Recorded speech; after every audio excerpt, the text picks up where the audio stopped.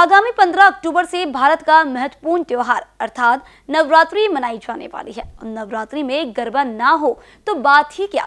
गरबा के महत्व को ध्यान में रखते हुए हर साल की तरह इस साल भी दैनिक भास्कर द्वारा भव्य भास्कर गरबा 2023 का आयोजन किया गया है, जिसकी प्रैक्टिस सेशन के तीसरे दिन बड़े उत्साह के साथ नागपुर वासियों ने हिस्सा लिया।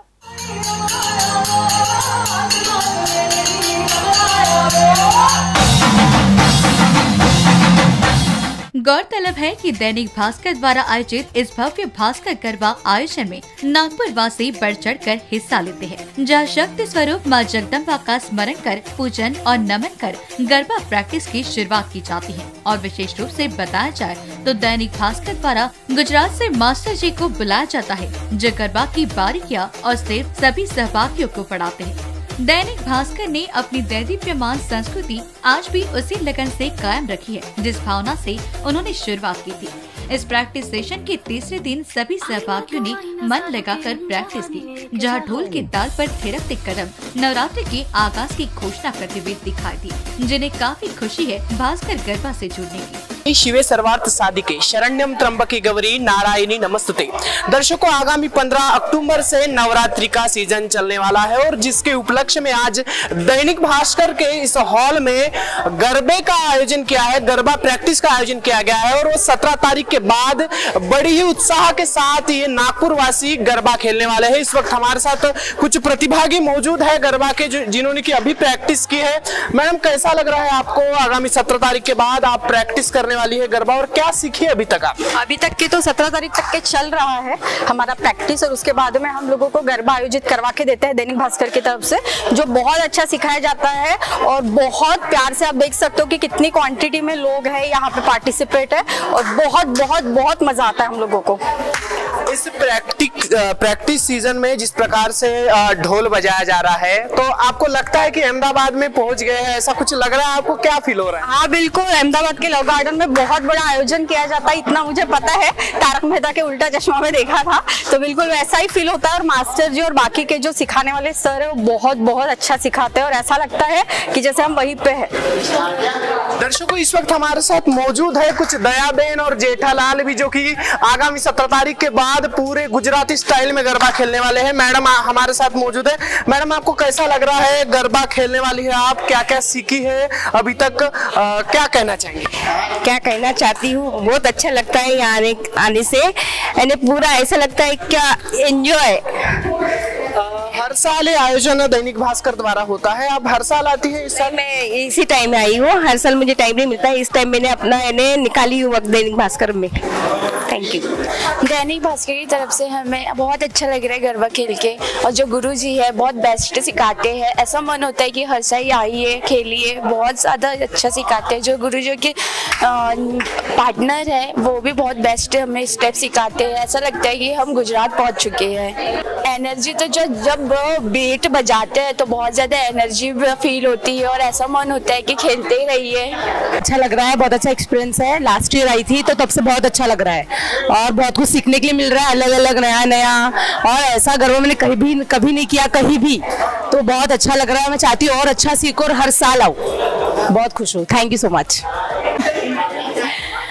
hi मेरा नाम निधि है और मैं दैनिक भास्कर में यहाँ गरबा सीखने आई हूँ। यहाँ का जो एनवायरनमेंट है और इन्होंने जो अ, मतलब आयोजन किया हुआ है और जो गर, हमेशा गुजरात से जो सर आते हैं शिकारी सर तो हमें बहुत अच्छा लगता है यहाँ सीख के और मैं यहाँ काफ़ी सालों से आ रही हूँ और हर साल आती ही हूँ यहाँ सीखने के लिए। हर साल नई स्टेप्स होती है। सेम नहीं होता है हर साल नई स्टेप्स होती है और अभी जो ये नया हॉल है यहाँ पे हम जो जहाँ सीख रहे हैं तो ये काफ़ी अच्छा है और सब बढ़िया ऑल गुड हम राहुल गोगे मेरी फ्रेंड ने मुझे यहाँ पर रेफर किया था कि दैनिक भास्कर में आकर गरबा मतलब गरबा की वर्कशॉप अटेंड करे। तो यहाँ पर आके मुझे बहुत एनर्जेटिक मतलब गरबा सीखने के बाद बहुत एनर्जेटिक लगता है और न्यू न्यू स्टेप्स मैं फ़र्स्ट टाइम आया हूँ तो मतलब एक मतलब बहुत like a golden golden opportunity जो दैनिक भास्कर भास्कर ने और ये गरबा ऑर्गेनाइज करके मुझे दी है। Thank you Dainik Bhaskar for celebrating this Navratri like this thank you आज गरबा की संस्कृति गुजरात से बाहर पूरे देश में उत्साह के साथ प्रसारित हो रही है। पूर्वकालीन समय का गरबा और आज का गरबा इनमें काफ़ी प्रगति हो चुकी है। सिर्फ़ एक ताली के साथ खेला जाने वाला गरबा आज अपनी भिन्न कौशल के साथ प्रकट हो रहा है। इस वक्त जानकारी देते हुए गरबा मास्टर शिकारी जी ने बताया कि हम लगभग तेईस सालों से गरबा सिखाने आ रहे हैं और दैनिक भास्कर द्वारा आयोजित इस भव्य रास में खुद माँ अम्बे का आशीर्वाद शामिल है, जिसके अनुरूप हर साल बड़े उत्साह के साथ यह आयोजन होता है। और हर साल हम नई स्टेप सिखाते हैं। दर्शकों इस वक्त हमारे साथ मौजूद है एक गरबा सिखाने वाले मास्टर जी जो कि गुजरात से आए हैं। शिकारी सर जिनसे हम बात करेंगे किस प्रकार से नया गरबा का इवेंट यहाँ आयोजित किया गया है। आप हर साल आते हैं सर गरबा सिखाने। किस प्रकार से अभी नए प्रतिभागी यहाँ जुड़े हैं? नई स्टेप क्या सिखा रहे हैं अभी हम तीन दिन हुआ है आज से। तीन दिन के अंदर हमने चार स्टेप सिखाया है गरबा का। जब हम गुजरात से रंग मिलन अहमदाबाद से आए हुए हैं, हर साल 20-23 साल से हम आ रहे हैं यहाँ। यहाँ जब छोटे बच्चे पाँच साल से लग के पुराने साठ साल के, पैंसठ साठ के आते हैं। हमारा गुरुजी का नाम है गौतम शिकारी जी। वो हमको सब पढ़ाया है कि नागपुर हमारे जैसे दैनिक भास्कर, हमारा खुद का परिवार है, उन्हीं की तरह से हम काम करते हैं। हर साल 22 साल जैसा हो गया ये नई नई स्टाइल होती है। जब पुराने लोग थे, तब एक ही ताली में खेलते थे, एक ही ताल में घूमते थे। अभी के जो जनरेशन है, छोटे बच्चे को भी अपने से भी अच्छा खेलते हैं। उसको पढ़ाऊं, सिखाऊं तो बहुत बढ़िया खेलते हैं। नहीं, ये वर्कशॉप हमारा पंद्रह दिन, सोलह दिन का रहेगा। इसमें हम नई नई स्टाइल सिखाएँगे। एक ताली, दो ताली, तीन ताली फिर बाद में एक्स्ट्रा डांस जो होता है, उसमें राजस्थानी लेंगे, इसके बाद महाराष्ट्र के लेंगे नई नई स्टाइल से हम सिखाएँगे सभी को। प्रकार से बोला जाता है कि नवरात्रि में माँ अम्बे खुद गरबा के पंडाल में आती है और दैनिक भास्कर ने इतना बड़ा आयोजन किया है। नागपुर शहर में कहीं ना कहीं गुजरात उतारने की कोशिश दैनिक भास्कर ने की है। क्या कहना चाहेंगे इसके विषय उसमें अभी ऐसा हो गया कि हम गुजरात के हैं, अहमदाबाद के फिर भी। गुजरात के अंदर देखने जाओ तो जो पहले संस्कृति थी, वो अभी नहीं रही। उनकी संस्कृति अपने बाहर चली गई, दूसरा स्टेट में। तो अभी दूसरा स्टेट के अंदर देखो तो जैसे गुजरात का माहौल बोलता था।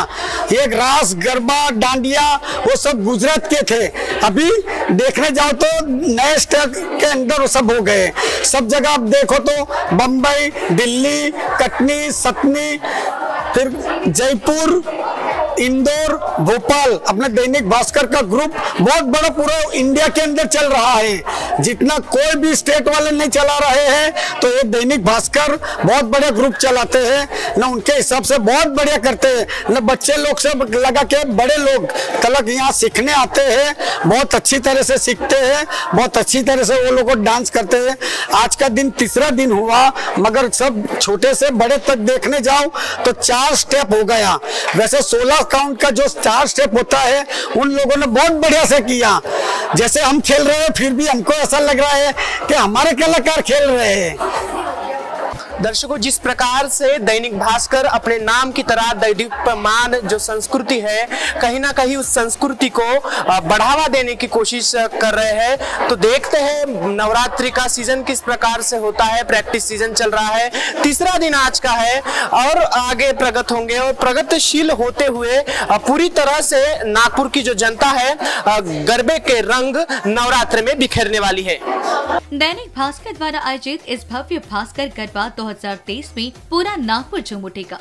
अब यह देखना काफ़ी रोचक रहेगा कि यह प्रतिभागी किस प्रकार से इस सुवर्ण अवसर का लुफ्त उठाते हैं।